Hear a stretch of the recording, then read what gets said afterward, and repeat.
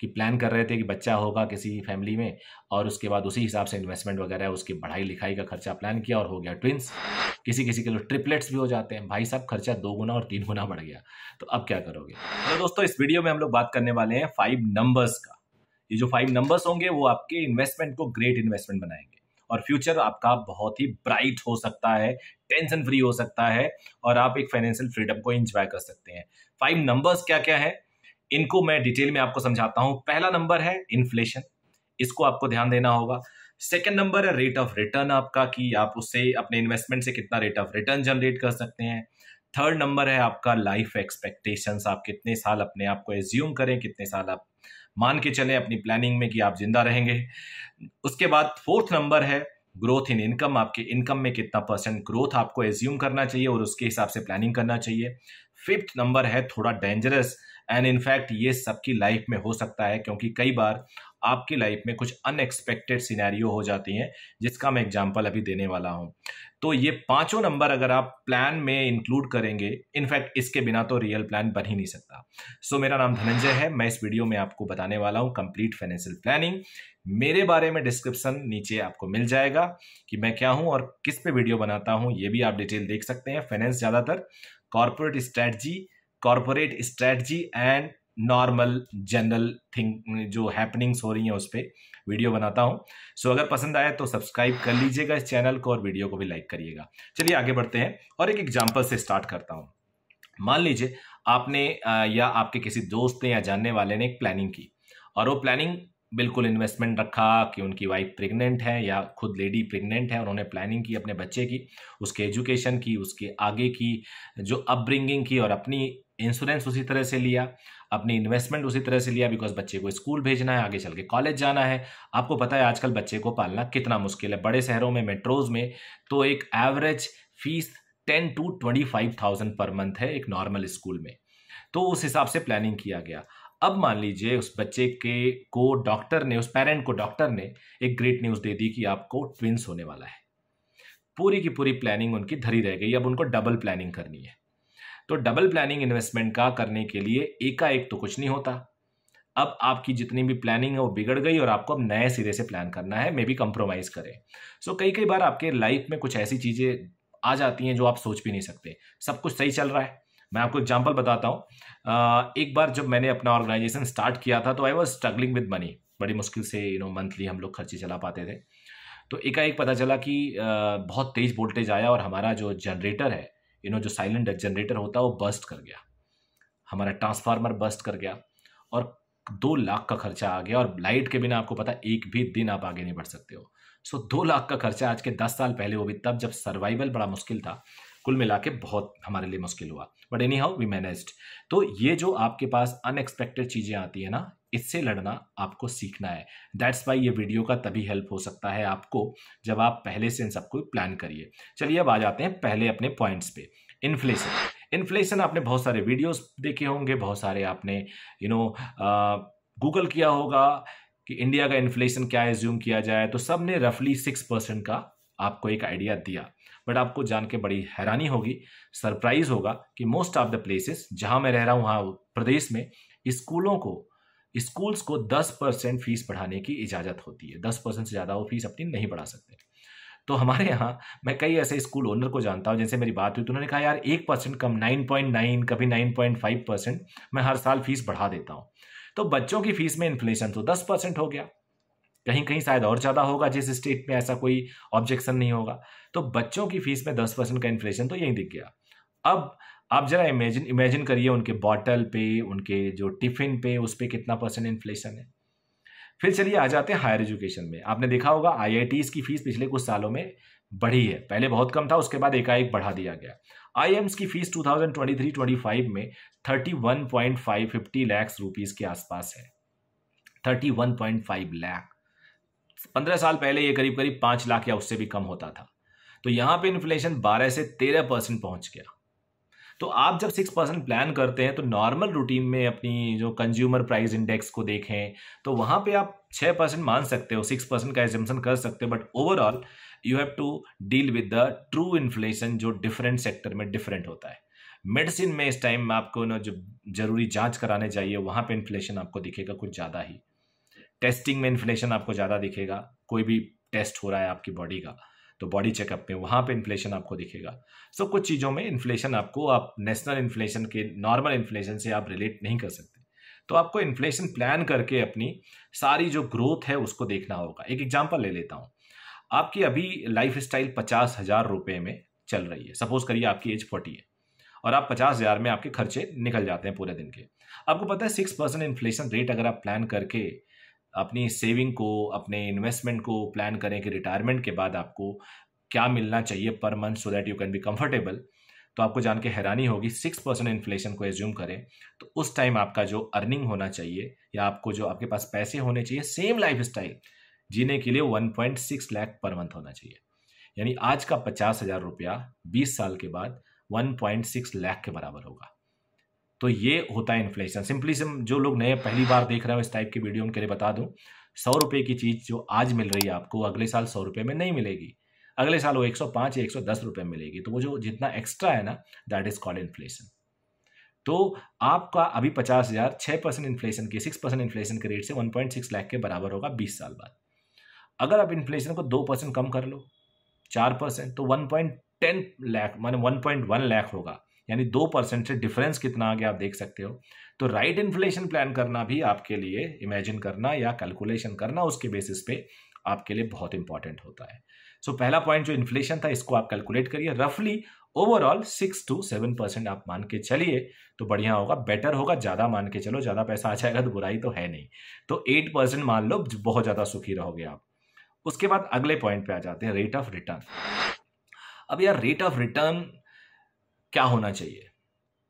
मैं जानता हूँ कई कई लोग पूरी लाइफ बैंक में पैसा जमा करते हैं एफडी में जमा करते हैं। कुछ लोग यू नो पोस्ट ऑफ़िस में जाते हैं कि यार वहाँ एक परसेंट ज़्यादा मिलता है।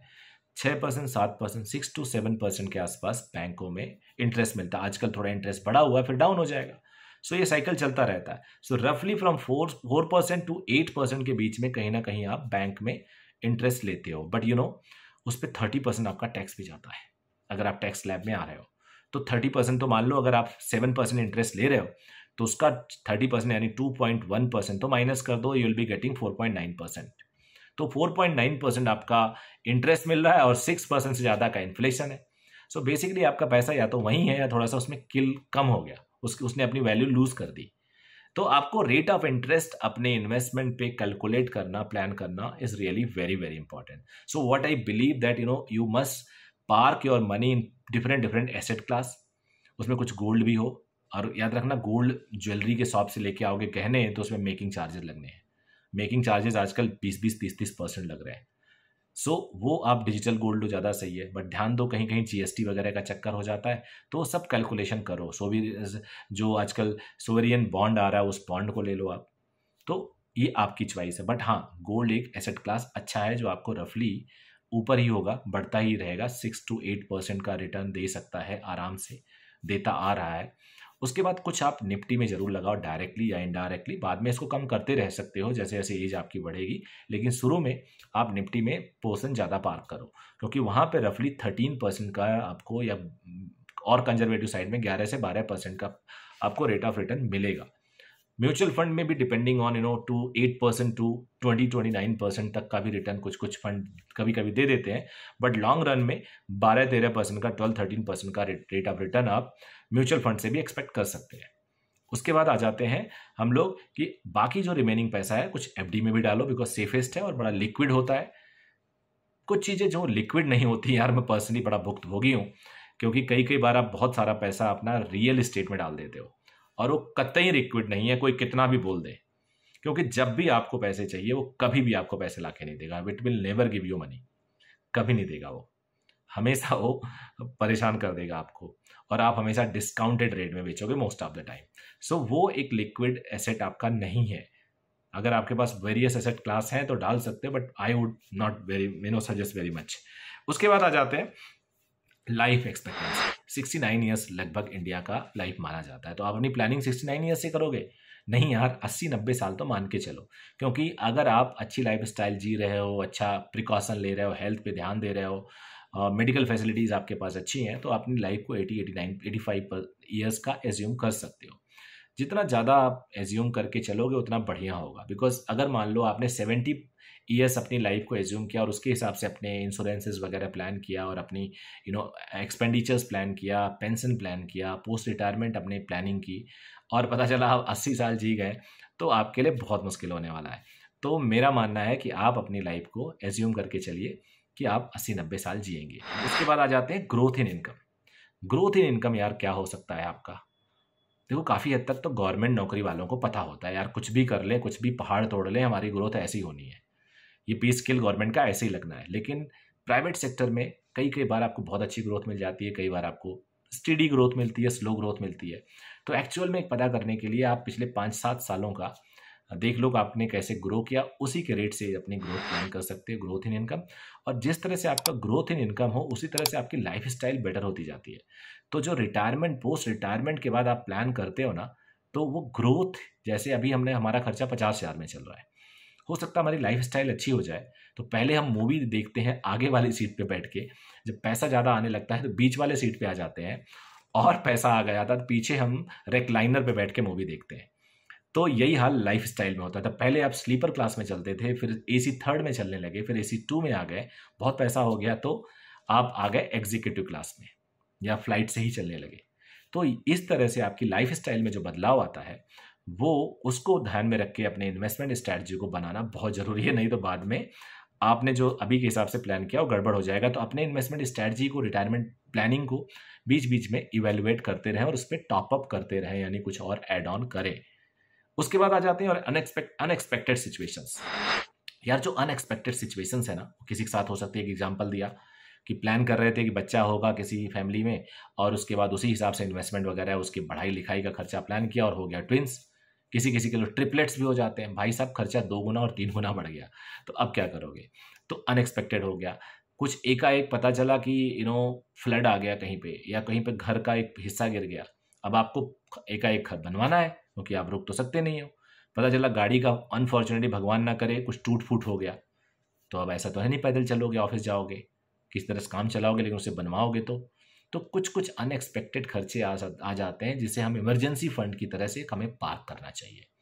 ये स्ट्रेटजी में ज़रूर इंक्लूड करें कि इतना पैसा हमारे लिए इमरजेंसी फंड होगा और वो एकदम हाईली लिक्विड होना चाहिए। लिक्विड का मतलब एक दिन में आ जाए दो दिन में आ जाए तीन दिन में आ जाए या वीक में आपको एटलीस्ट मिल जाए। मेडिकल इमरजेंसी आ गई। हालाँकि उसके लिए मैं रिकमेंड करता हूँ कि इंश्योरेंस ज़रूर लेके चलो। सो so, ये सारी पाँच पॉइंट कौन कौन थे? Inflation rate of return life expectancy growth in income और अनएक्सपेक्टेड सिचुएशंस तो ये पाँच पॉइंट आपको देखेंगे तो उसके बाद आपकी लाइफ काफ़ी आसान होगा हो जाएगी। चलो हम कंक्लूड कर देते हैं इसको। कंक्लूजन ये होगा कि आप आ, अगर प्लानिंग को एक एक साल छः महीने में रिव्यू करिए अपनी स्ट्रैटी को रिव्यू करिए और उसके लिए टाइम निकालिए ट्रैक करिए, जो मैंने अपने बहुत सारे वीडियोज़ बनाया ट्रैक करिए रिव्यू करिए और अपने एसेट्स को रीलोकेट भी आप बीच बीच में कर सकते हैं। जैसे एज बढ़ती जाए तो आपने इक्विटी से पैसे निकाल निकाल के सेफर साइड में लगाने लगे। आप अभी आपका एज कम है तो ज़्यादा इक्विटी में डाल दिया। बाद में हम आप ज़्यादा एफडी में पार्क कर दिया। So these are the things जिसको देख के आपको प्लान करना है। कंक्लूजन इन्फ्लेशन कोई कांस्टेंट नहीं रहना। डिफरेंट डिफरेंट एरिया में अलग अलग इन्फ्लेशन होता है। कहीं कहीं पे आपको अपनी जो प्लानिंग है उसको रिव्यू इसलिए करना होगा क्योंकि आपकी लाइफ स्टाइल आगे बढ़ती जाएगी। अभी आप एसी वाले ऑफ़िस में रह रहे हैं, दस साल पहले शायद नहीं रहते थे। अभी शायद अपने घर में एसी लगवा लिया, दस साल पहले फ़ैन पे रहते थे, पाँच साल पहले कूलर में रहते थे। So these things you know keep increasing so I hope by this way you can predict your planning your planning for investment so I hope video अच्छा लगा होगा। थैंक यू वेरी मच देखने के लिए time देने के लिए। Bye bye take care